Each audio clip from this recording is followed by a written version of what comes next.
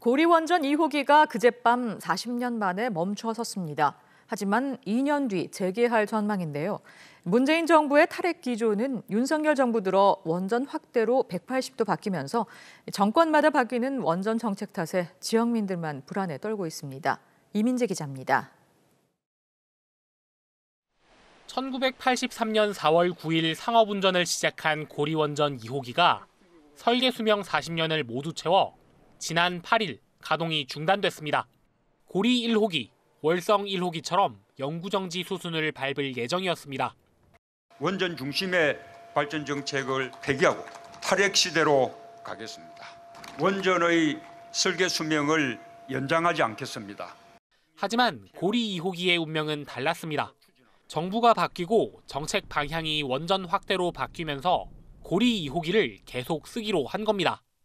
제 뒤로 보이는 고리 2호기처럼 설계 수명이 만료된 원전을 추가 운전하려면 법령상 설계 수명 만료 전에 계속 운전 신청을 해야 합니다. 고리 2호기 계속 운전 신청은 전 정부 내내 진행되지 않다가 지난달 말 수명 만료를 한 달도 남기지 않은 시점에 이뤄졌습니다.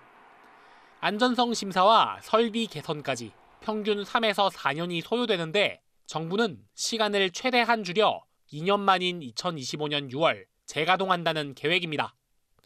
원전 최대 밀집 지역인 부산, 울산, 경남 주민들은 다시 불안 속에 놓였습니다. 예, 아무래도 뭐 좀 불안함이 좀 크죠. 더군다나 여 기장 인근에 사시는 분들은 가지고 바다 인근에서 생활하시는 분들은 좀 생계지 않습니까? 재가동이 됐을 때는 불안함이 크죠. 시민단체는 정부가 요식행위에 불과한 방사선 영향 평가서와 공청회로 재가동을 밀어붙였다며 비난하고 있습니다. 부산시는 노후 원전 수명 연장을 금지하는 조례까지 만들어 놓고서도 정부 눈치만 보고 있습니다. 정부 방침이 이렇게 정권이 바뀔 때마다 뒤바뀌는 것이 오히려 지역 주민들에게는 혼란과 갈등을 빚는 상황을 계속해서 만들어 가고 있거든요. 원전 지역 주민들의 반발에도 불구하고 정부는 고리 2호기를 시작으로 임기 중에 최소 원전 10기의 수명 연장을 계획하고 있습니다. KNN 이민재입니다.